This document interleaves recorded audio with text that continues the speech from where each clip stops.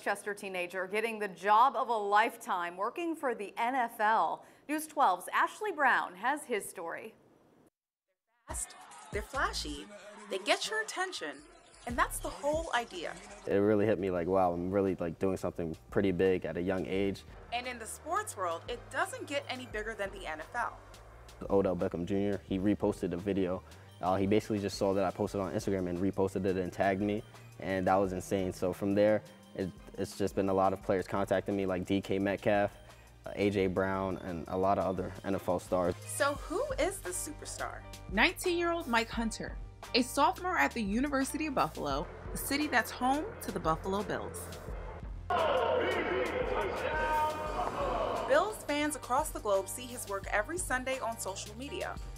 And basically, I'm capturing live content for them, and they're posting on their Instagram pages right away. A former track and field star found his true calling, not on the track or on the field, but with a camera here at White Plains High School.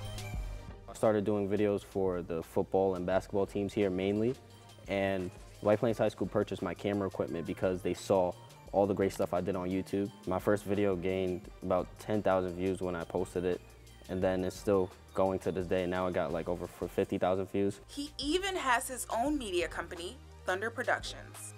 My long-term goal to make this a bigger company and have a team instead of it just being me, and hopefully the sky's the limit. But for now, Mike is happy sharing his passion for sports, one video at a time.